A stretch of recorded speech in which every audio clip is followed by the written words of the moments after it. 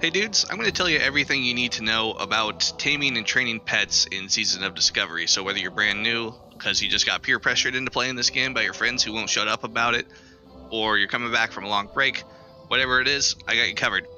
So first thing, of course, you need to be level 10 to even tame a pet.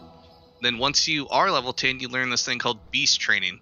And what beast training is is how you put different abilities on the pet.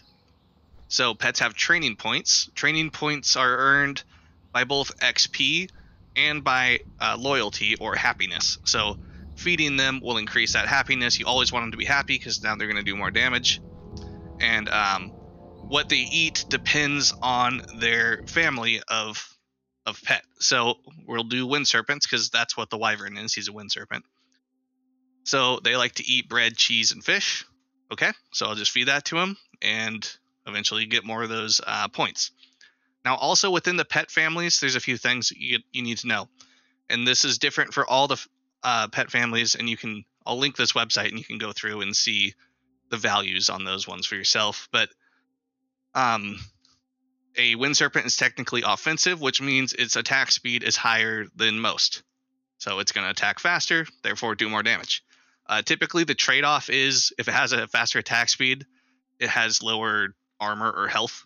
But um, then, furthermore, within the pet families, there are abilities that those specific ones can learn. So these are all the ones that a wind serpent can learn. Bite and lightning breath are your two that actually do damage. Um, every pet can growl as well, and every pet can learn these passive abilities from a hunter trainer who's in your capital cities, or it's not hunter trainer, excuse me, pet trainer, which are near the hunter trainers in your capital city. But uh, we'll go through bite and lightning breath, and we'll talk about how do I learn higher levels of bite or lightning breath to make my pet do more damage. So this applies to all of them. So there's bite, claw, charge. It depends on your pet's family and uh, the abilities that you can learn from the other pets out in the world. So for bite, for example, uh, I can learn it off wolves and spiders. So in your starting zones, typically are going to be where you learn bite one, charge one, claw one, things like that. So once I've tamed one of those dudes, I can fight with him for a little bit, and then a thing will pop up in the chat that says you have learned bite one.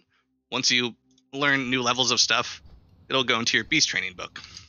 So now, say I've been fighting with the same wolf for a while, I've just kept the same pet, and now I just hit level like 18.